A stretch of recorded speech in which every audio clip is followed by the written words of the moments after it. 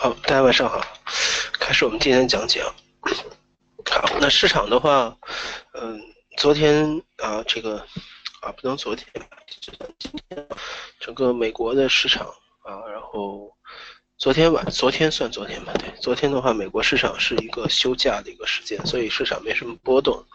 那今天白天的话呢，整体上，呃，美指。或者说欧元也也是基本上没有什么波动的啊，主要是一些其他货币啊。我之前也讲了，我觉得可能啊这个澳币啊，可能今天的这个会议啊，可能会促使澳币可能有一个上涨的过程，但是啊从幅度上来讲的话比较小啊，大概只有几十点啊，这个也也是比较正常的，因为啊整个的数据并没有发生变化。好，其次的话，像英镑呢，也有一个拉升啊，然后的话，啊，黄金进行了一次啊，算是回调啊，嗯，整体上来讲的话，等于是美指并没有去波动，而是啊，进行了一些啊小的一个啊一些运行啊，那整体上的话，现在市场的节奏呢，啊，我是这么来思考的，呃，从上周的这个非农啊利空于美元啊，我我讲了啊，可能进入到一个啊逆转的一个思维的时间。那逆转思维当中的话，有几点啊啊是比较重要的，一个是有利空的消息啊，第二个是有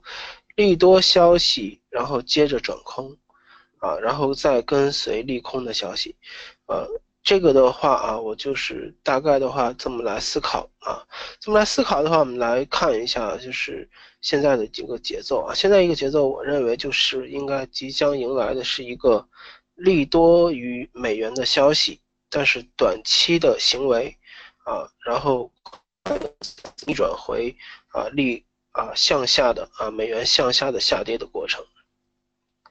好，那么这是一个啊我的一个。整体的一个看法啊，整体一个看法，这样的话我们就比较清晰了。我认为可能，呃，今天白天的啊品种的一些拉升，多少可能是一些提前的布局，就是可能有一些资金啊觉得可能啊这个时候先进场啊或者怎么样的啊，当然也有可能是一些短期行为啊。那么接下来应该是有美元的一个啊下跌的过程。啊，美元的一个啊，美元的一个上涨的过程，非美的一个下跌的过程啊，这是我的一个看法。好，但是这个的话呢，我觉得，呃，就像我说的，是一个快速的转换，也就是说，可能是出现了某一件事情或者某一个消息啊，然后呢，美元可能先走强一下，跟又立刻的又转成一个啊下跌的态势。也就是说，那这个。美元走强这一瞬间，要不要做啊？多大的空间？那这可能不太好把握，不太好把握。那么相对的，可能是它走强一轮以后，再次的转换为美元的弱势的这个方向的行情，我倒认为啊，相对的好把握。这样的话也能也比较合理，因为目前看的话呢，美元还处在一个相对弱势的一个时间点。并没有到一个强势的时间点，那么它中间有一些短期的某一些数据影响它走强，那把它认为是一个回调啊，美元的一个下跌当中的回调，然后再继续做空美元啊，这样还是比较合理的一个啊一个一个一个想法啊。这样的话，我之前也讲了，我说有英镑。那澳币和英镑，那么整体上看的话，我觉得澳币也许现在会更好一点，因为澳澳澳洲的话，明天啊还会有公布这个整个 GDP 的数据，所以啊，如果今天晚上有美元的一个走强，或者是澳币的啊从现在的附近的位置，然后再出现一个下跌的走势，那么出现的下跌的时候去进行一个。买入啊，我觉得这是一个好的时间点。那么通，但是这个问题是它，呃，上方的空间有多少啊？就看它先看它跌到哪里。如果它跌破了啊昨天的一个下方的一个位置啊，我觉得它反向再突破前期的高点，我觉得还是啊比较正常的啊，比较正常的，这是我的，呃，一个一个对市场的一个整体的看法啊，整体的看法。然后的话，像黄金的话呢，啊，我可能有一点，但是这个的话也是和之前的想法啊，也都也都也都相吻合吧，也都相吻合。呃，可能来讲啊，也许黄金还有一些较为深的一些回调，甚至于啊，可能就。啊，是在一个下跌的过程当中，可能现在市场的话不愿认知，可能黄金还会再向上运行。我不反对这样的观点啊，但是我之前也讲了，我说在，呃，第一次打开，呃，第二次打开，然后觉得还是在第三次打开的可能性，在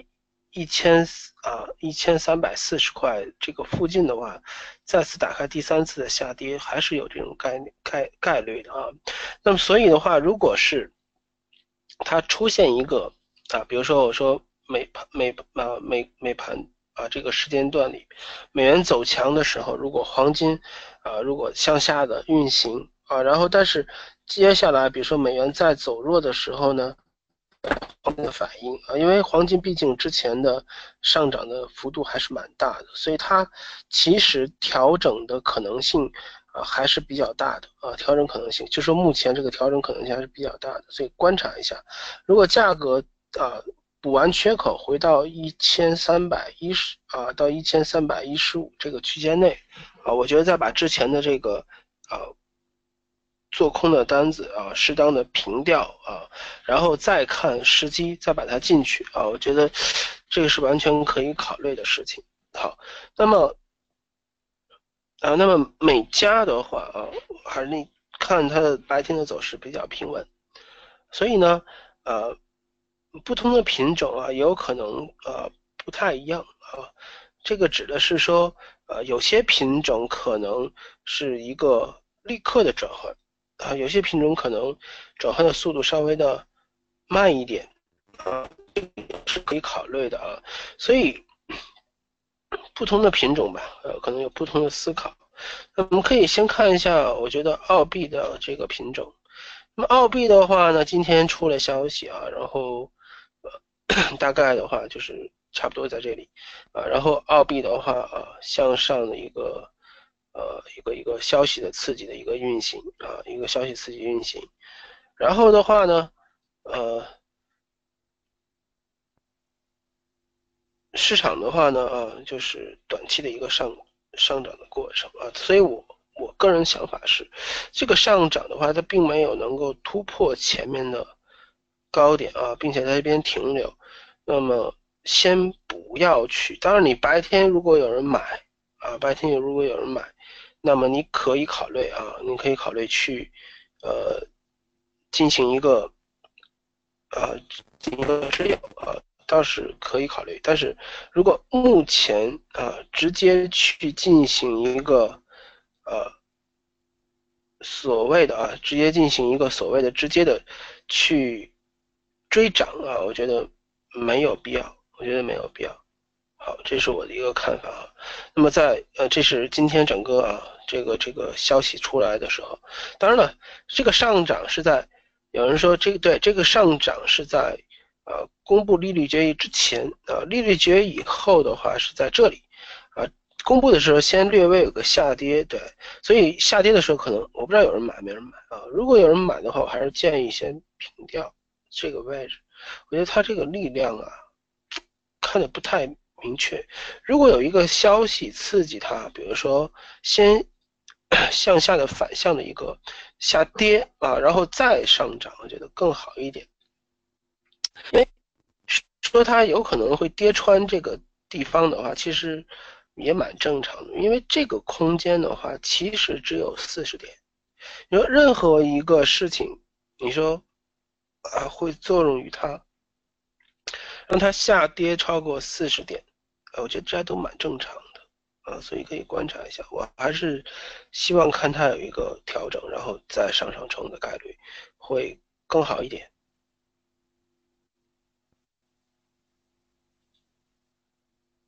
我们可以看一下消息面吧。那么消息面的话，可能今天晚上有十点钟啊，国内十点，澳洲这边十二点，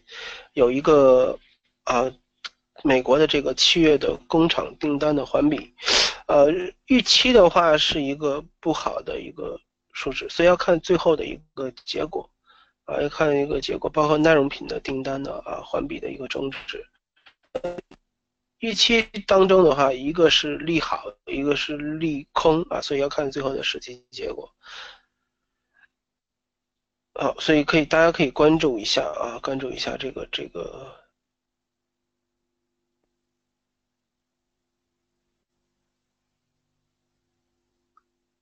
好，可以关注一下当时啊，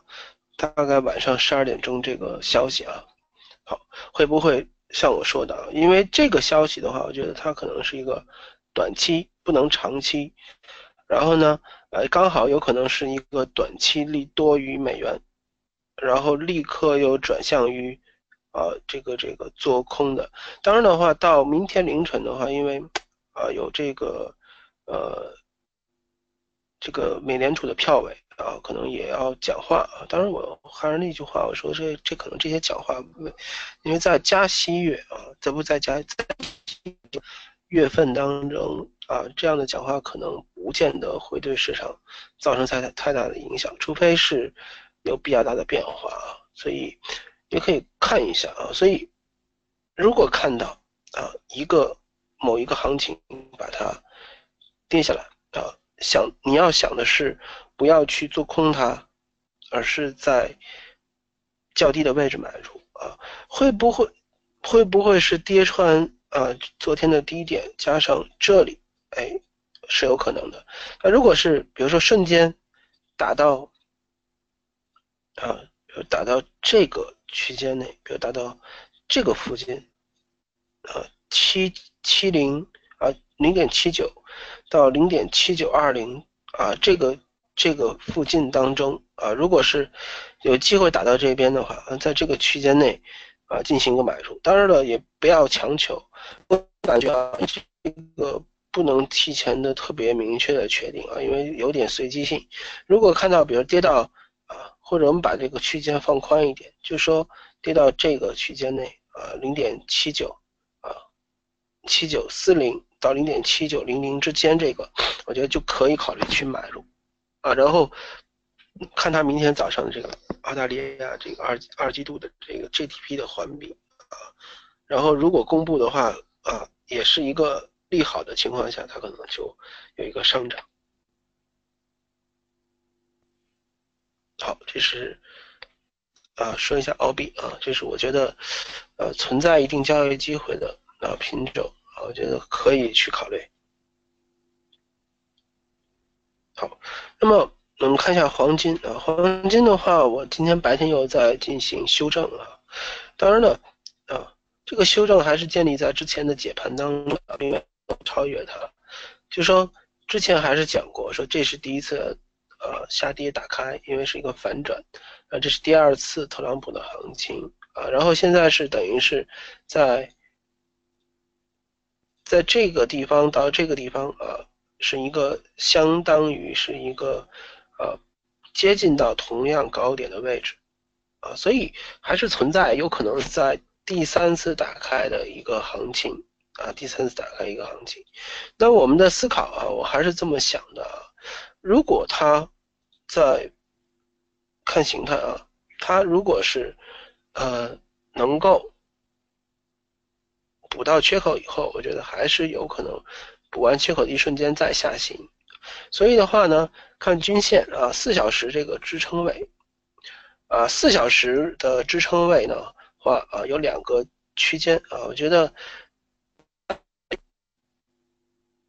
一三零五到一三。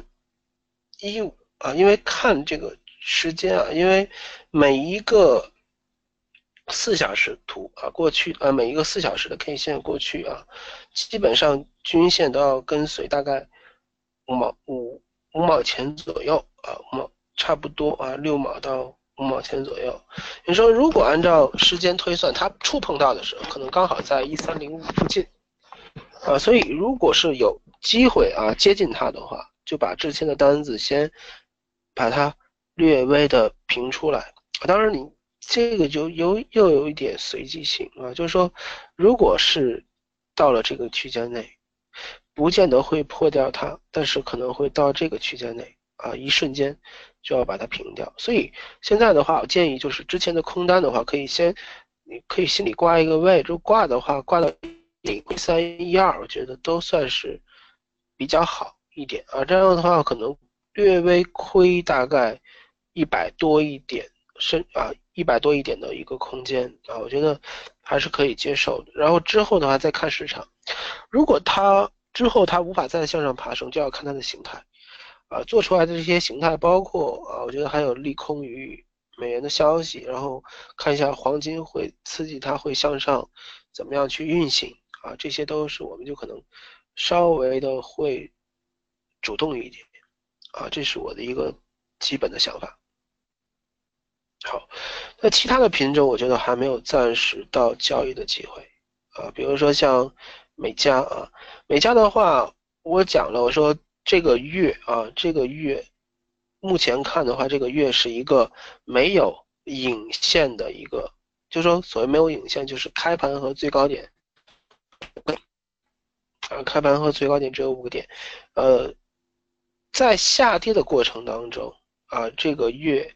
呃，有没有？当然有啊，你看之前在这边啊下跌当中。啊，是存在着啊！你看，开盘价和最高点之间只差十几个点，但是通常来讲，啊，通常来讲，跌了几个月以后啊，然后再出现一个，嗯，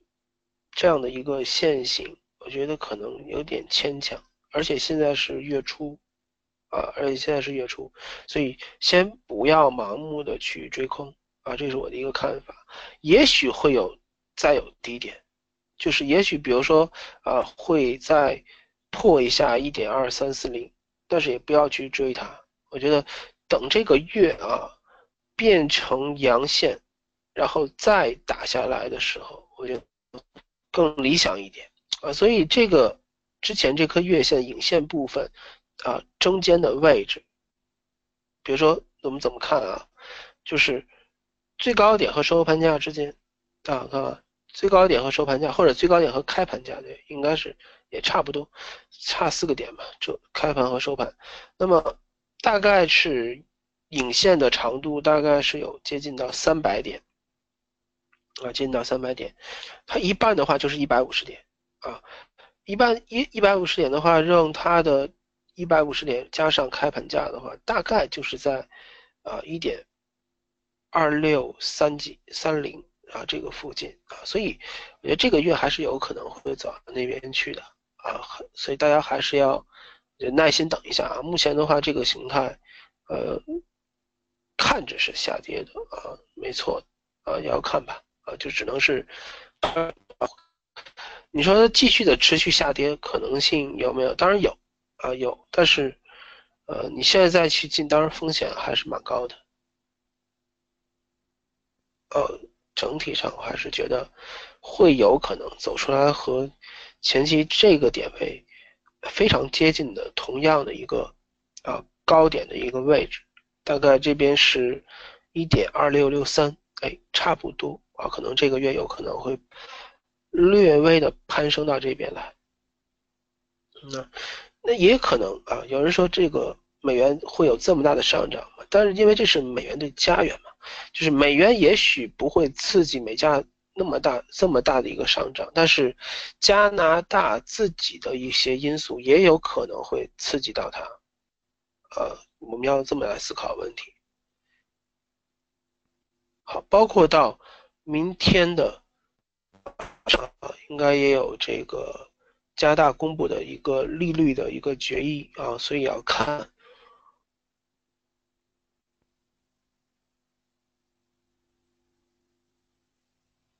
好啊，说一下这个啊，然后的话是美元对日元。好，美日的话在这边啊，算是怎么讲？算是今年的低点，就是今年，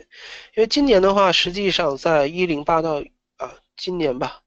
呃，整个的话这是去年啊，然后今年开始从这边开始，那么。今年算是一个较为低的位置啊，大概在一零九的位置。啊，就是在这个附近。我整体上我还是觉得它上涨的概率会更加的大一点，啊，所以看一下啊，整个自己的美元的一个小啊一个一个一个行情啊。那么这边的话，你可以去，因为之前的话是以空黄金为主嘛，那这边的话你可以去进行买入啊。我觉得啊，我觉得还是这个附近的话还是。可以去考虑买入的，因为毕竟本周的话，这个跳空低开的这个这个这个行情啊，这个行情大概有一个啊，基本上有一个六十点左右吧，啊，有一个六十点左右的一个空间，我还是觉得它会有一个回探的可能性啊，回探的可能性。所以如果它回探啊，也就是说从现在价格到回探这个价格之间。刚好是有一百点的空间，啊，我觉得还是有可以去考虑啊，进行一个这样的交易。当然，选取会更好一点啊，因为现在的话呢，我觉得，呃，看不到一个特别大的空间啊，所以呢，现在的话要进行一些啊，比如说短期的行情啊，我们可以看一下，它可能一直在一个啊。十五分钟几次的一个下方，啊，看它能不能反上去，反上去以后的话，然后再顺势的去进行一个买入啊，我觉得还是比较好的选择。好，英镑啊，那么说了一遍啊，然后英镑我之前也讲，我说英镑我也是稍微看涨一点的啊，稍微看涨一点的，所以啊，英镑的话在这边的拉升以后啊，进行了一个。啊，这样的一个结构啊，这样的一个结构啊，有点和澳币类似。呃，其实，在啊最近这个走势当中，它和澳币之间的啊走势的话是有点类似的啊，是有点类似。澳币可能又上去，当然一会儿要看一下市场啊，然后。还是一样啊，我觉得等一个拉回啊，然后再去进场，我觉得更好一点。好，呃，澳币的话，有人说那是不是要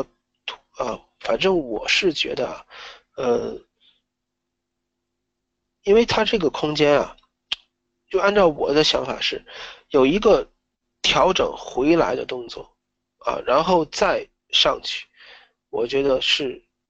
比较好的交易方式。现在直接冲啊，我觉得力量上未必能持久啊，这是我的一个看法。放在内，我也是这样觉得的啊，就是应该是再有一个回探啊，然后再去买，我觉得这样的话会更好一点。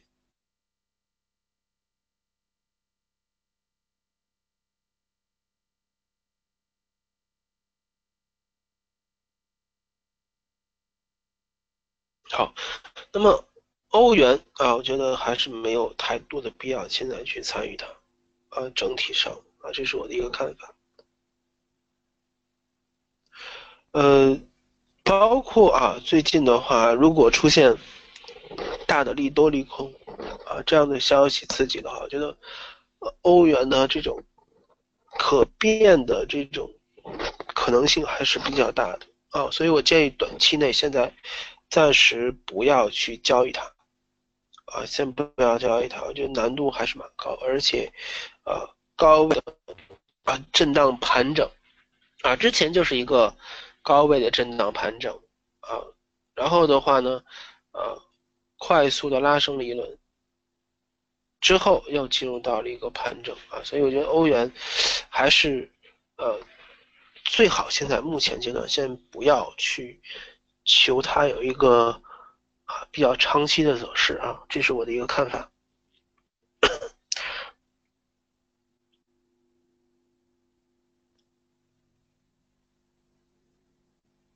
好，那么美元对瑞郎啊，美元对瑞郎的话呢啊，又回到零点九六这个附近啊，它它也是没有怎么动啊，昨天也是大概昨天我们解盘的位置就在就在现在的价格附近吧。昨天解盘啊，基本上没有什么变化啊，一天下来，除了有点振幅以外啊，然后基本上价格没动。上的话啊，我是觉得啊，美元走强的时候它会有上涨，它上涨的时间一瞬间就是一个做空的点。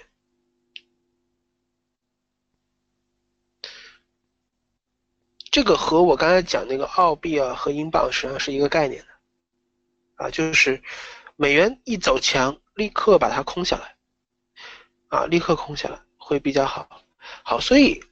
澳币的话呢，刚才这一下，比如说上涨砸回来去买入啊，就是这么一个节奏。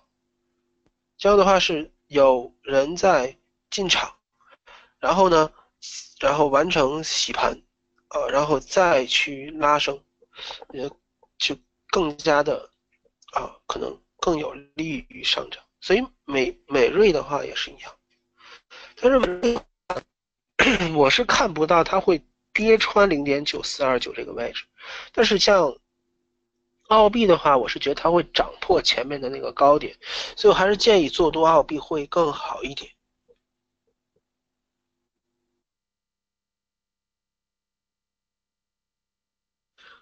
好吧，呃，基本上呃，主要的交易品种也就是就是这些了啊。你说有什么新的呃大的变化吗？其实没有啊。为什么没有呢？其实现在基本上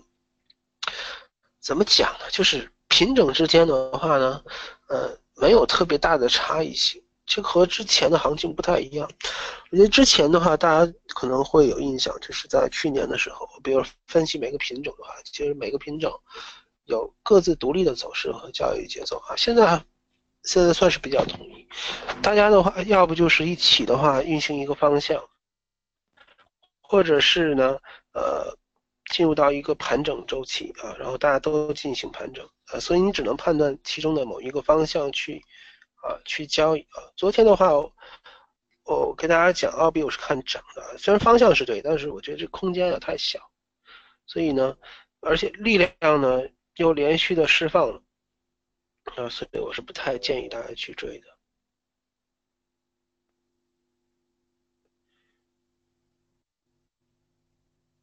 其实也没什么太多的可以讲的新的东西了，啊，基本上行情就是这个样子啊。然后的话，剩下的话其实就是只能再等待，啊，没有别的太多的呃好的办法啊，因为波动率的话本身就还是偏低。然后的话啊，然后等待一些可能消息的刺激，然后确认一下行情，啊，我们可以看到基本上美指是没有什么变化的啊，都是独立的运行，好，所以稍晚一点吧，看一下市场的这个消息刺激。纽元也有啊，纽币的话，因为可能之前的跌幅比较大，所以修正起来的幅度也也也啊，就是波幅比较。稍微大一点，但是啊，我还是那句话啊，纽币的单位价值太低了啊，零点七的纽币其实只有四十点啊，五十点吧啊，只有五十点，如果是零点七的英镑，那大概有一百点啊，所以这个就是差的很多了啊，我觉得，呃，为什么一直我没有强调做纽币呢？啊，就是也是大概也是这个原因啊，它的值比较少啊，所以不适合做。特别短的啊，因为这样的话，你你设定三十个点的止盈啊，然后你止损可能达不到，但是止损达到三十点很容易啊，因为它波动率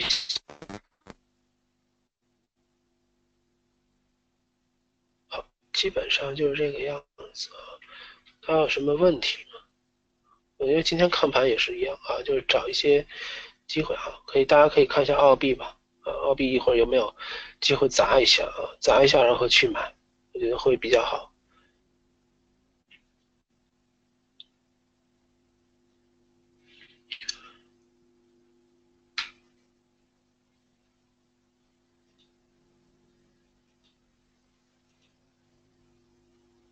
差不多的啊。你看每个品种啊，基本上要不就是不动盘整啊，或者是呃就是可能略微的强或者略微的弱，呃，所以没什么好特别明显要解的东西，啊，就是大节奏你们就知道是我分析的一个节奏，就是可能现在是需要一个利好美元到转换到空，接着是利空啊，利空美元，然后呢，呃。啊，然后利空美元的消息，然后可能再接，啊，再接一下啊利，啊利多美元啊，然后再转空，这都有可能。反正最近的话，应该都是这样的行情啊。然后可能到某一个呃阶段啊，市场都相信可能美元不会，至少是所有人不敢去再去多美元的时候吧。然后刚好是那个时间点，我。有人可能会问到，到底到时候会多谁？这可能肯定是一个好的问题啊。去买入哪个品种？至少我认为黄金不合适。呃，也可以啊。如果美元的话，就说不是黄金不合适，就说开始的时候可能像，可能黄金还需要做一些形态。那如果按照正常来讲的话，我倒是觉得，呃，欧元可能，比如说你说黄金走啊，美元走强，当然欧元会下行。但是欧元因为它可能相关性比较高和美元，所以可能稍微稳定一点。啊，我觉得这个倒是可以考虑，但是它空间绝对不是最大的。但是其他的品种当中，空间谁到底是最大的？呃，目前的话还真的不好说。澳币有机会，澳币有机会，英镑呢也有机会，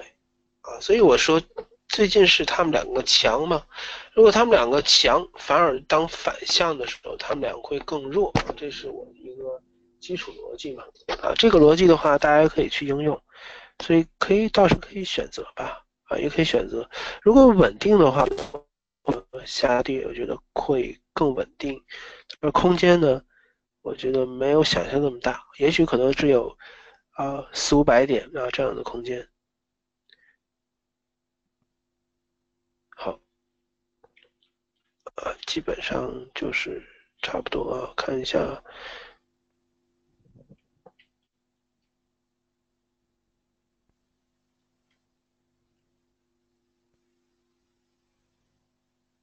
好，大家可以啊。等一下，看一下一会儿市场的一个消息。记住了美加这个行情啊，就是第一轮下跌的空啊，然后觉得啊应该是要先离场，然后再等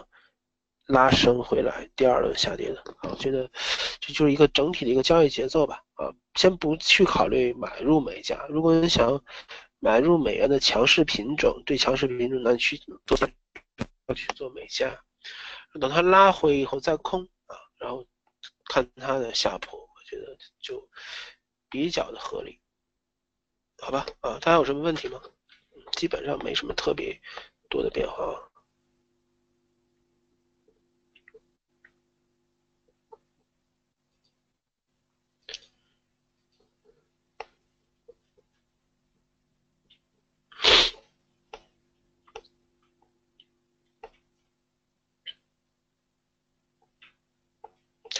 嗯，有同学问，可能是澳币白天进了多单，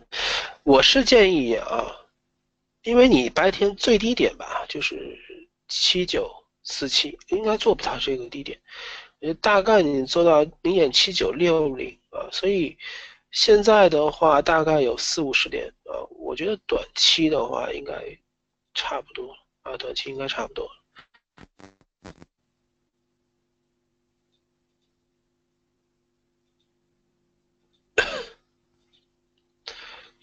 你说硬看到一百五十点啊，嗯，就是，就是当然可以了，但是你说从今天的低点要是上看一百五十点，就是到零点八一了啊，零点八一就会超越前边的最高点了，能一次性就上去吗？反正我是比较怀疑的啊，我是保持怀疑的，我觉得下来一轮。然后再上去啊，我觉得会更好一点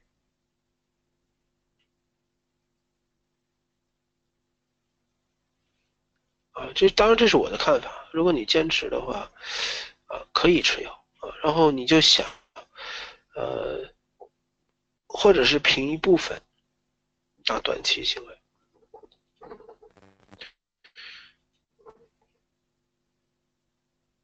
目前的话，黄金好像还没有啊把这个缺口补上啊，差一点点啊。今天最低是二六嘛啊，缺口应该是二四的，对，二四点六八啊，所以差十几个点，就看吧，因为一会儿的话有消息，也许是如果是利好美利好美元的话，其实啊，黄金的话呢，你看它整个走势啊，就是。它从高位的下行到回拉五分钟再下来啊，现在又回到五分钟，它是有可能很大的可能性再再下行啊。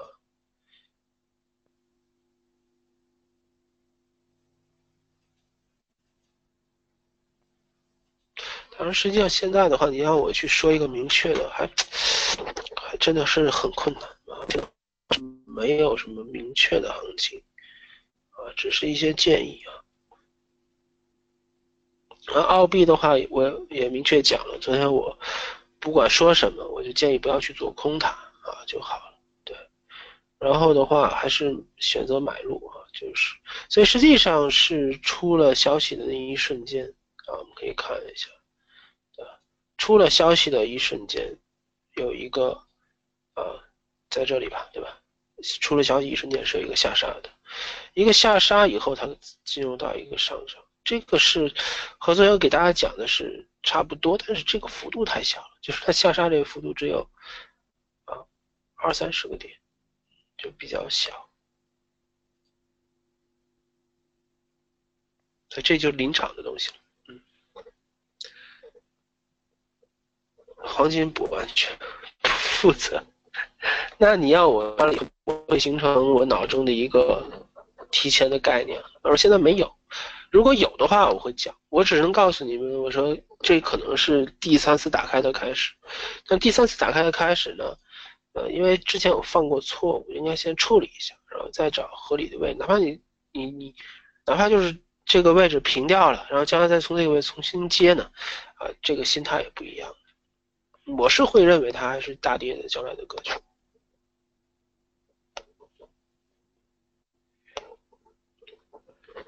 好吧，啊，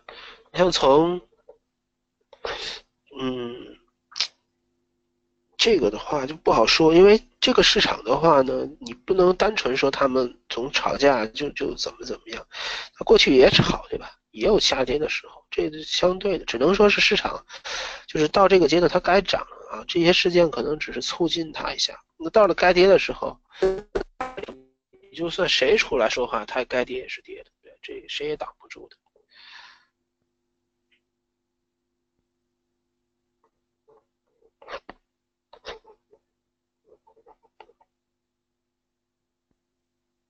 好吧，大家有什么问题吗？啊，因为就是这个行情啊，你说要我去解过多东西，我觉得没必要，看出来自然会讲嘛。啊，你们不要担心，如果我看出来什么行情，到我需要做的时候，肯定是提前会跟大家讲的。没，我基本上应该长时间听我解盘的人应该讲，我除了啊，除了是那种非常非常短的啊，然后。突发的行情，然后可能会会当天做决定。一般情况下，我做一笔交易啊，都不会当天临时下决定，所以没没没关系都是有准备期的。比如说像美加这个，我说啊，在等它高位再重新做空，这就是一个准备期，嗯，就等嘛啊，如果它有。真的给机会了，它回到那边去了，啊，自然就会空下来，对吧？呃，你们有一个准备，到时候就可以跟着我做嘛。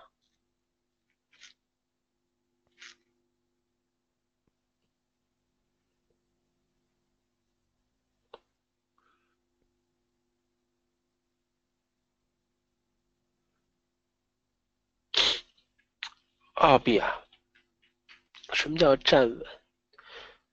你指多长时间？就是我是年初的时候，我跟大家当时就分析过，我说我是啊，当时澳币可能还在，我记得还在零点九九零点还九零点七五吧这个附近。我记得今年年初看点八二到八三嘛啊，但是我觉得到那边就会开始下跌了啊，所以我的看法是这样。你的站稳是说哪种？有些上方空间不大。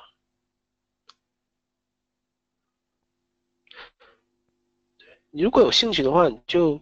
看一看我今年，我记得今年是一月十号头一开始的时候，就把每个品种今年大概的看法我都说了一遍啊。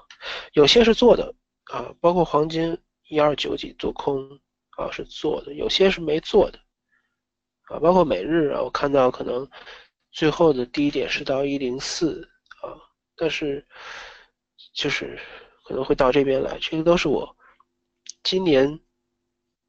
我记得一月十号吧，一月十号那一天，今年头一天解盘，一，对，一月九号、十号这几天啊，那几天的录像你们可以去看一下。嗯，应该不会，我觉得到了破零点八以上，就反而会是好的好的行情的开始。这个要看，这个你要这个你不说时间跨度，我没法说。你说要是两三周，那很很正常，对？但是你要说跨到半年，我觉得那就应该是不会的啊，停半年应该不会。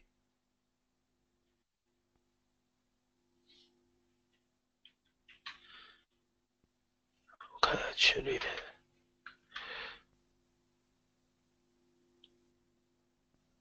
我一般是这样的啊，我我跟大家之前也都去年解盘也都是说过的，我一般一年的基调我都会在开始的话就就看市场会不会配合我，比如像英镑，英镑我今年年初的年初的时候，我跟大家讲，我说今年的高点我是看到一点一点三三啊，一点三三以后的话呢，我是看从一点三三再跌回到一点一七啊，甚至到一点一五。啊，这样的行情，所以其实，在在这一段时间内啊，其实，呃，中间有一些短期的行为，没做太长的。今天主要是，其实今年主要的我的交易都是思维都是在黄金那边，因为那个是更大的一个周期的思维思思考。你看这些的话都是短期行为，我就没有太做它。所以当时做空了一笔黄金以后呢。其他的品种我都是短线了，但是我年初的时候也都给大家的我的看法了，比如说，英镑我看到一点三三，然后一点三四这些位置，然后我觉得到这边的话会再次的下跌，嗯，所以看的话也是对的呢。我说现在不是思维逆转期嘛，那思维逆转期末端可能是啊美元还要走弱一轮，那英镑啊，像英镑呀、澳币啊，还有可能再上行嘛。对吧？但是思维逆转以后，不就美元开始走强嘛？那这些品种就开始下跌了嘛？呃，刚好也是这个时间点，所以就可以等嘛。您可以去回去看吧，就今年找一下今年，就是你不要看去年的十二月底的，因为我们今年开年是一月份开始的嘛，你就看头几天的那几天的我讲的每个品种我今天的看法，对，都有啊，你们就大概去就了解了，了解我。当时怎么思考的一些品种？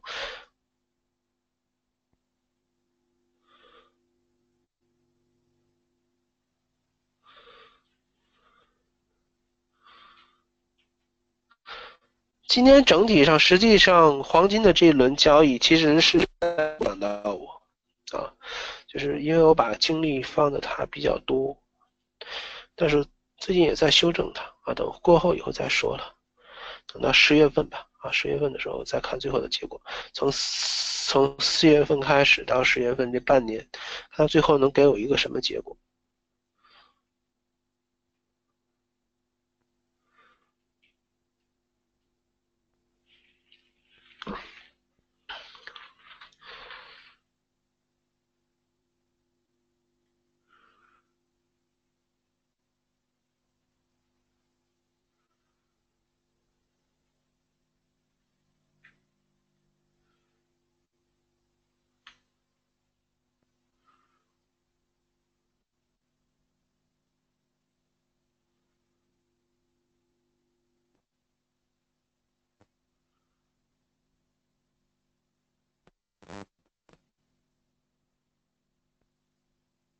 好吧，大家什么问题啊？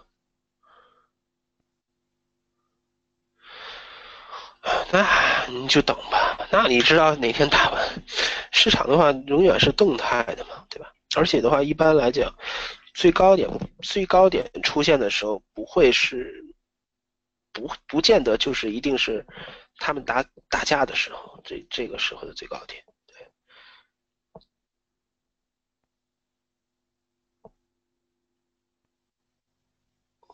你要一定记住了，像他们这些事情。在整个的市场当中，它只只是代表了其中的一个点，它不是全部的，啊，否则的话，那大家都知道它哪天打完了，然后哪天是反转，那就太容易了。它不是全部，它只是其中的一小一小部分而已。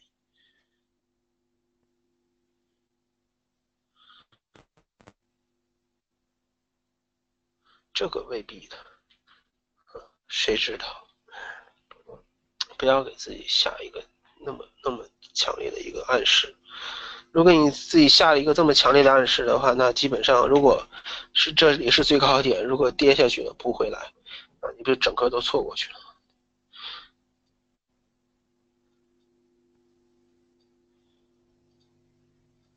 要有弹性一些。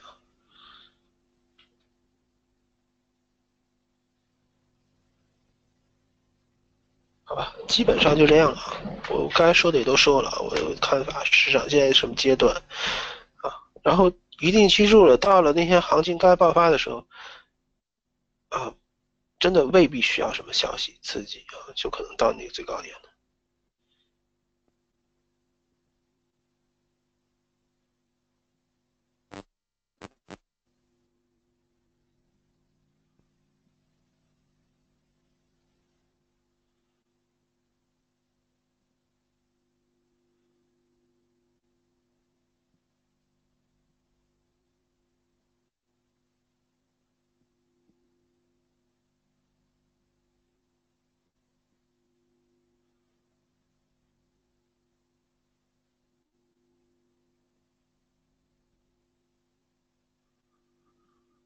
嗯，你如果你是锁单的话啊，如果你是锁单的话，就不要，对，就是如果你是单纯锁单，你就不要去这么做。如果你这样做的话，万一直接跌下去了，就会很麻烦。你不要到位置就解开，你应该是比如说到一一三一几，如果你觉得啊，我先解哪个方向，那你应该是先看一个方向会不会有企稳。你明白吗？如果是锁单的话，这个比较复杂。解跟这么讲吧，锁单和解锁，你要把它当成开新单一样去做，你不能够说单纯的到某个位置解锁。最要命的是按照位置去解，应该是按照形态，甚至于按照最细微的地方去解。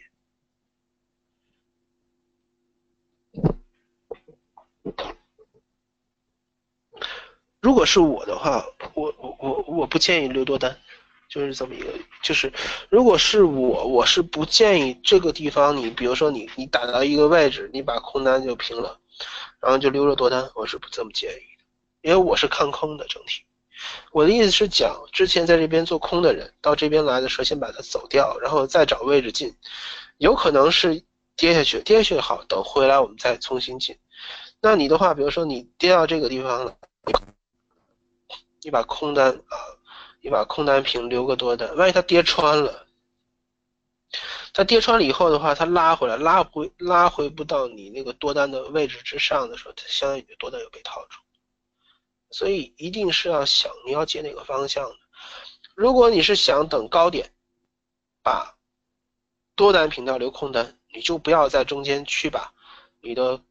空单平掉留多单。所以看你自己要方向，你的方向如果是我要解哪个方向，你就认准了，啊，如果就是这么一个概念，因为当初你本来是想做高空的嘛，对吧？你如果思维变了，你想我想做低多，那你可以；如果你高空的思维没变，那这个是不好的，因为这样相当于如果跌下去了的话，你的你整个你的后悔心理会更高。啊，所以你这个都要去思考一下，再做决定。那唯一的办法就是，当新单去做。比如说你跌到这来了，我现在第一时间不平，它走上去一点，你觉得像是一个拉升了啊，然后你再去把所谓的你的啊空单平掉。但是你空单平掉的时候，你要设定新的多单的止损点啊。我担心的是你平掉了空单。多单不设止损的，然后呢，跌下去被套住，然后你总想拉回来，甚至于你把你亏损的点也拉回来。比如说你在一三零五，啊，你平掉了，假设你等到这儿了，然后的话你加上你的十几块钱的一个，我不我不知道你有多少点，那二十块吧，二十块的止损，你希望它可能拉回到一三三零，也许它一直不拉回来，那你可能就一直被套住，啊，这个是最不好的一个结果。能听明白吗？啊，就是当你去选择把多单留住、去止损的时候，去去做的时候，你就要重新设置你的多单的止损点。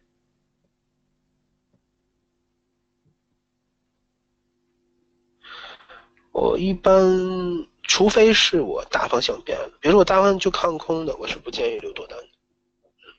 OK 吗？就是你是解锁的多单，对你和别的人，你就要如果是这么想，就是你要和别的人，比如说我下一步我说，我说这个可以去做一个短多，但是你要和别人一样，你要设止损啊，你要设设止损点，我担心的是不设止损点是最要命的。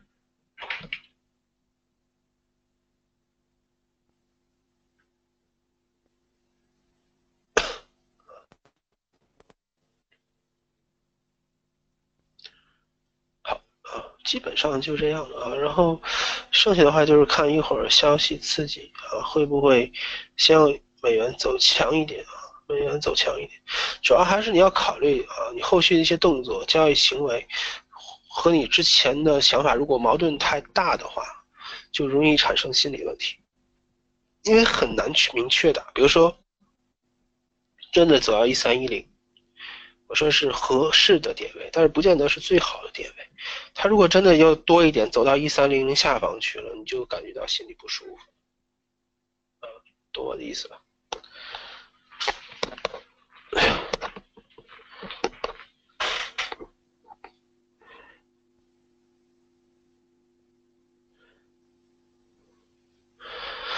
好吧，啊，我们啊，今天就先到这儿。明天我们再看啊，一会儿看一下市场的变化，啊，我还是觉得会有一个英啊，不是美元的一个短期的多单的一个可能性，啊，然后再去接非美的多单，啊，我觉得这个更好一点，好吧，啊，谢谢大家啊，那我们明天啊再跟大家去分析市场，好，再晚安。